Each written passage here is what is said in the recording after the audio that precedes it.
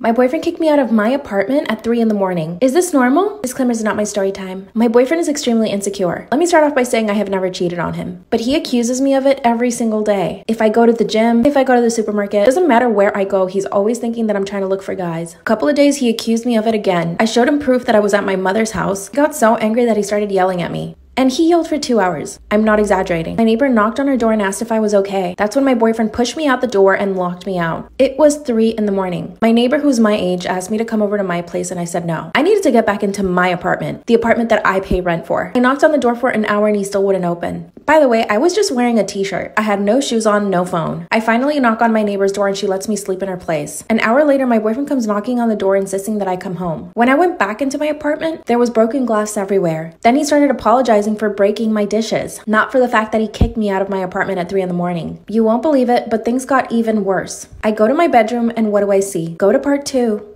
My boyfriend kicked me out of my apartment at 3 in the morning. Is that normal? Disclaimer this is not my story time. He finally lets me back into my apartment. I see a bunch of broken dishes on the floor. He casually apologizes and tells me to go to bed. When I walk into my bedroom, my clothes were everywhere. Mind you, I have very expensive clothes. I have a lot of designer, Fendi, Gucci. And as I got closer to some of my dresses, I could see that he had taken scissors and cut them up. I couldn't believe it. He then flat out denied that he did that. He said that there must have been a demon in my apartment. I asked him to leave and he wouldn't. I just cried myself to sleep. The next morning, I woke up to a weird sound. Luckily, he had already left. He wrote me an apology letter and showed up to my apartment with breakfast 20 minutes later. That's when he said that he had never acted that way before and that he was sorry. But I was traumatized. I let him in with the breakfast. I kept hearing something in my closet. He told me to just ignore it. It was like a really weird noise, but it would stop and then start again. He told me that it must have been something in the walls. Then he told me that he believed me that I wasn't cheating on him. I even told him that he should just turn on my location so he could see where I am at all times. I know this isn't normal, but guys do get jealous, right? Ended up working things out and he went to work. And he promised he wouldn't do it again. That little noise started up again in my closet. But when I opened my closet, I saw a robotic teddy bear. It had two bulging eyes, and I had never seen it before. It was just moving around my closet making noise. When I picked it up, it was all wet. I called my boyfriend and asked him if he put it there. That's when he said, No, I told you there's a demon in your apartment. He texted me later saying it was actually a gift for me. I don't know what to make of it. It's a weird looking bear. It turns on randomly and starts saying things like, I love you. Boyfriend is on his best behavior though. He hasn't accused me of anything and we haven't fought in over a week. In fact, he's been bringing me lunch and bought me all the dishes that he broke. He even took me to Gucci to replace the dress he cut up. I haven't told my friends or family because I'm kind of embarrassed. Do you guys think this is normal?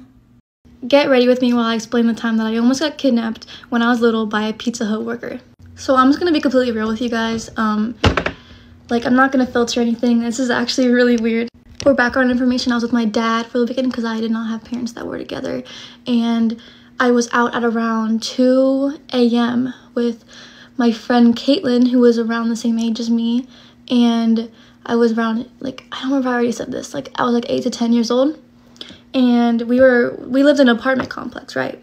Basically, we were walking around the apartment complex, and it's like a pretty big apartment complex with lots of different like apartments everywhere. And we went to the lake, right? Um, this was about like one in the morning, probably. We were just kind of just like sneaking around, you know, doing whatever, because our parents didn't really care about us technically.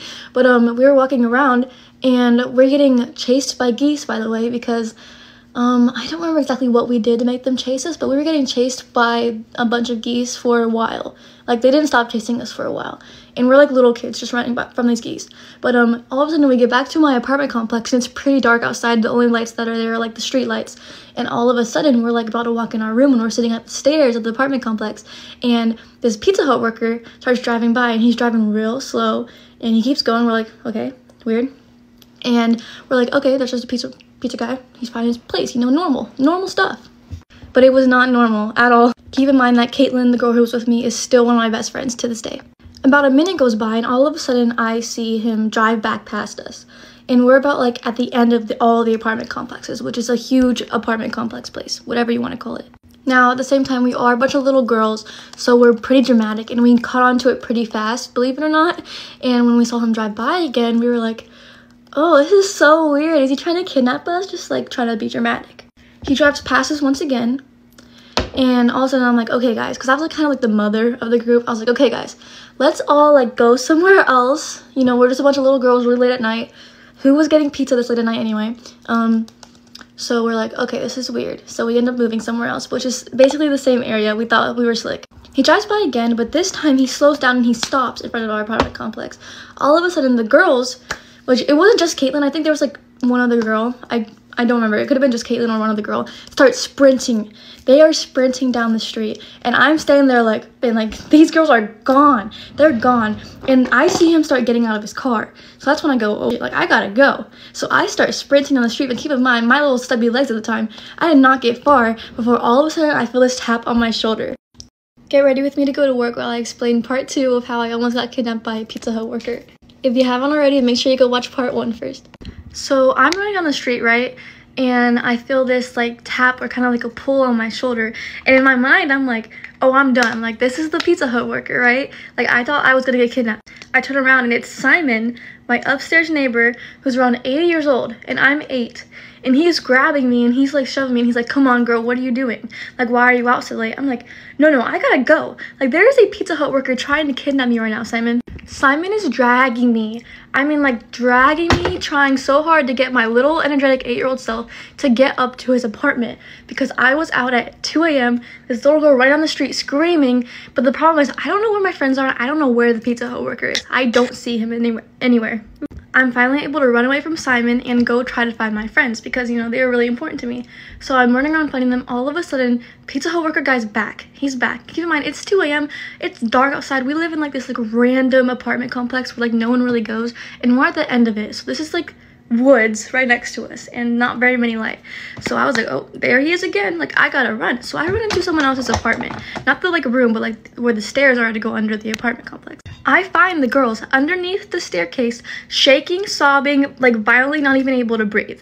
I'm like whoa guys what, what in the world's happening? And but like I don't even have time to talk to them because they get up and they're running because all of a sudden I turn around. The Pizza Hut worker is getting out of his car I see the Pizza Hut man and I am out. Like my friends, I turn around, they're gone. They're much faster than me.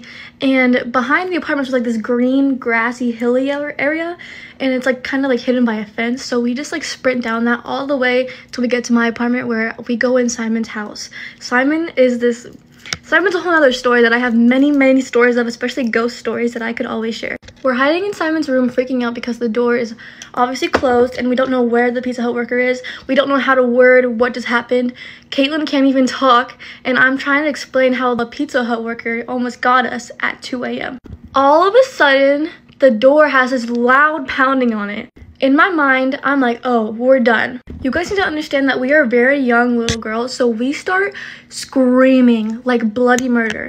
And Simon opens the door, and we're like hiding under the couch. We're shaking, we're screaming, no, Simon, stop. Simon's like, don't worry, girls, I'm just gonna open the door, I'm just gonna peek. Like, what are you guys freaking out about? Because we're trying to tell him what's happening, but we're hyperventilating from running so much. And we're little girls, we don't know how to explain that a Pizza Hut worker almost got us without seeming like we're dramatic. He opens the door, the screaming stops. It's my dad.